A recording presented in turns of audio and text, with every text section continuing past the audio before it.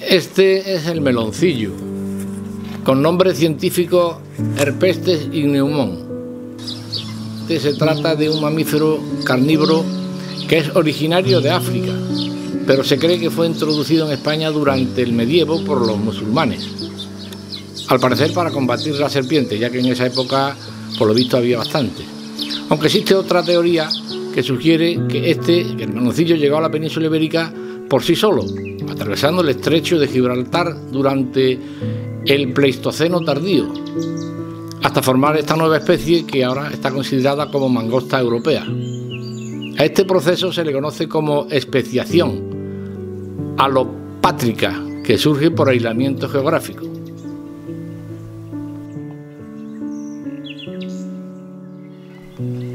En esta escena le vemos cómo sale de entre la maleza y metiéndose en el agua agarra fuertemente un pez muerto, de buenas proporciones.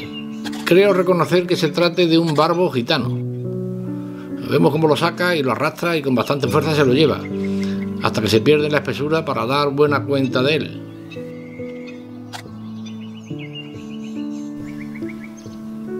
El meloncillo es muy fácil de reconocer.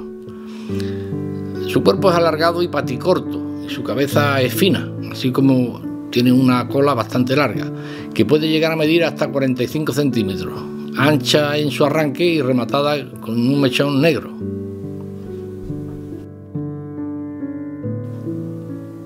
Su hábitat típico es el monte bajo mediterráneo, con encinas y alcornoques. En las zonas de cultivo se refugia en los sotos e islas de fresnos, adelfas y zarzas. También puede estar presente en bosques fluviales aunque se sospecha que la salud de sus poblaciones puede estar amenazada, a veces es presa de los cazadores furtivos, que lo ven como un competidor en la caza del conejo. Aunque debemos saber que es una especie protegida y por lo tanto no se le debe de eliminar en ningún caso. El celo del meloncillo tiene lugar a alturas variables de la primavera. La gestación dura unos tres meses después de la cual las camadas de entre dos y cuatro crías nacen principalmente en verano. El meloncillo es el carnívoro español más diurno, de hecho apenas sale por la noche, ya que disfruta de 15 horas ininterrumpidas de descanso, aproximadamente. ¿no? Sus momentos de mayor actividad son de un poco antes del mediodía y hacia la media tarde. Su andar es desgarbado, reptiliano, sin apreciarse las cortas patas. Sus extremidades delanteras son bastante fuertes, lo que le permite hacer marchas relativamente largas y sobre todo excavar con bastante pericia, ayudado por sus robustas uñas. Esto le permite adaptar antiguas madrigueras de conejos o incluso de tejones para usarlas como dormideros. También así cazan los gazapos que le sirven de alimento principal. Además de estos jóvenes conejos también se alimentan de reptiles y no le hacen asco a los micromamíferos e insectos que sean capaces de capturar, aunque también es oportunista y suele aprovechar carroña de otros animales, como ya vimos anteriormente sacando el pez muerto de la charca. A su vez sirven de alimento, o sea, el meloncillo a su vez sirve de alimento al lince, cuya predacción sobre el meloncillo ¿no? ha sido constatada ya en Doñana.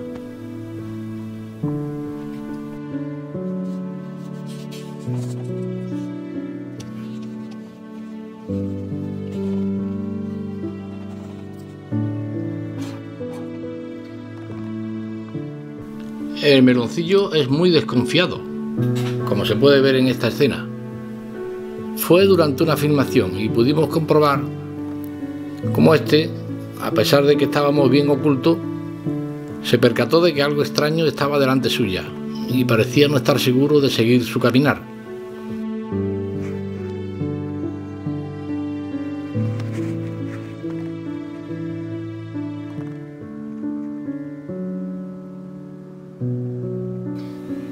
Miraba fijamente al objetivo de nuestra cámara y así, medio oculto por esas matas y entre las piedras del cauce seco del río, no nos perdía de vista y mostraba su titubeo e inquietud.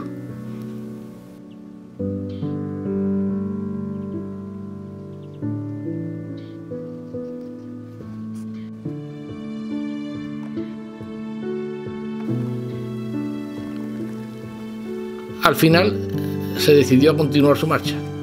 Es lo que habitualmente hace, andar mucho buscando cualquier cosa que le pueda servir de alimento.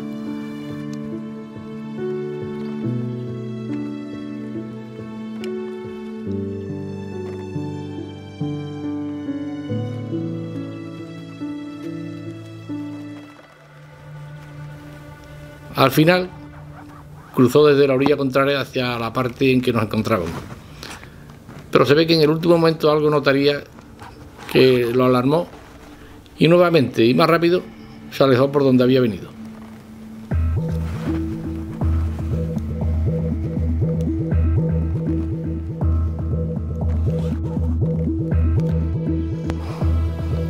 Aquí le vemos saciando su sed y continuando su marcha.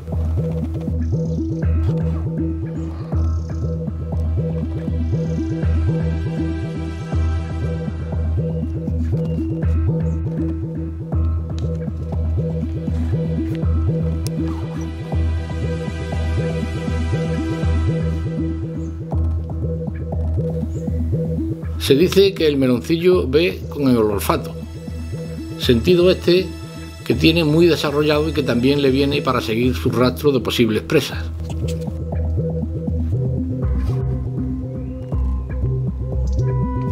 Teniendo su cuerpo perfectamente adaptado para casi reptar y meterse por oquedades y pequeñas aberturas bastante estrechas como aquí podemos observar.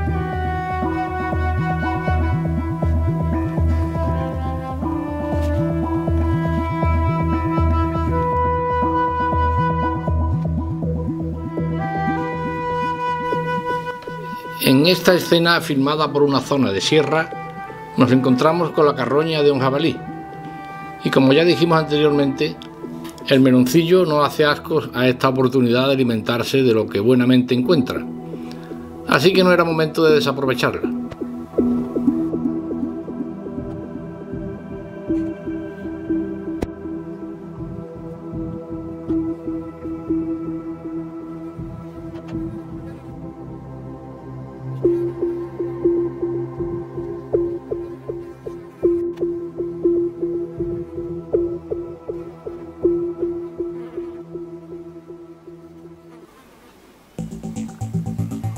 Nuevamente repetimos, el meloncillo es una especie protegida y por ello debe ser respetada. Existe la creencia que hay en demasía por nuestros campos. Incluso hay quienes opinan que son una plaga.